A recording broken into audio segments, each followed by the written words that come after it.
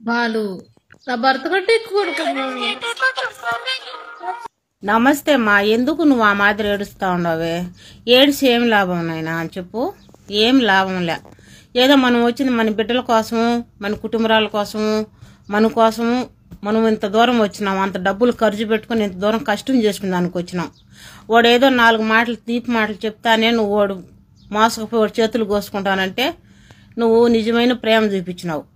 వాడికి నీ టేస్ట్ చూసి వదిలేసే ప్రేమ వాడి దగ్గర ఉండింది. అయిపోయింది. ఇంక ఎన్ని అయిపోయినా కానీ ఓడేమో సుఖంగా ఉంటాడు ఎక్కడైనా తిరగగలుగుతాడు. నువ్వు ఎక్కడ తిరగలేవు నాయనా. ఇంటికి పోయినా మీ అమ్మ వాళ్ళ పరువు మీ భర్త పరువు అన్నదమ్ముల అందరి పరువు పోయింది. గ్రామంలో ఏమైనా జరిగినా కానీ ఒలిపోయి చెప్పినానే నీ కూతురు ఈ మాదిర ఆ, సోషల్ మీడియాలో పెట్టింది ఒకని బ్రేమ్ చచ్చిపోతానని అని చెప్తారు. నువ్వేంద్ర మాకు చెప్పేది? నువ్వు బాగా శుద్ధంగా ఉండవు చెప్పేదానికి అంటారు. వాళ్ళ పరువు పోయింది.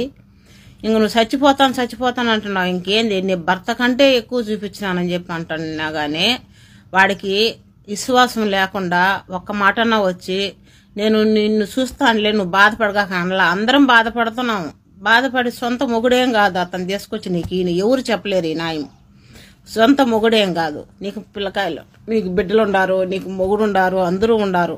వాడితో పెళ్ళైనా జరుగుంటే నీకు ఏదైనా పెళ్ళి జరగకుండా అతనితో చెడిపోయి ఉంటే చెప్తారు నాయన చెప్పేవాళ్ళు. ఎవరు చెప్తారు నాయన? నాయము చెప్పు. వాడేమి నీ మొగుడు కాదు కదా. నువ్వేమన్నా పెళ్ళి చేసుకోకుండా అతనితో చెడిపోయి ఉంటే చెప్తారు.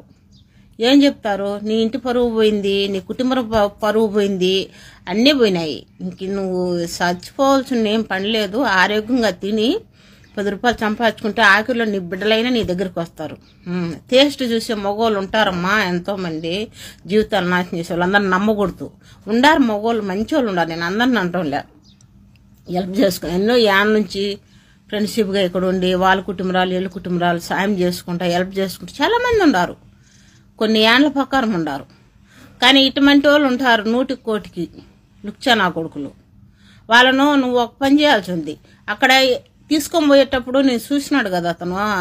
అప్పుడు బాగా నువ్వు అక్కడ పోయి చెప్పు తీసుకొని ముఖమంతా పగలగొట్టి అప్పుడు సోషల్ మీడియాలో పెట్టుంటే ఇంకొకరు అటు అటువంటి యాదవులు ఇంకొకరిని ఎవరు ఏం చేయకుండా ఉందరు.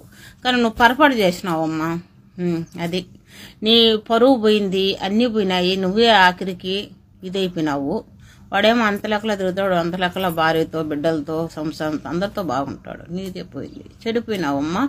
ఇంకా డబ్బులన్నా సంపాదించుకొని బ్యాంకులు వేసుకున్నావంటే నీ బిడ్డలనే నీ కాడికి వస్తారు. అంతే. ఇటువంటి పనులు చేయగాక నాయన తిని ఆరోగ్యంగా ఉండి ఇంకెటువంటి ఆలోచన ఏ నమ్మగాకు. సరేనా?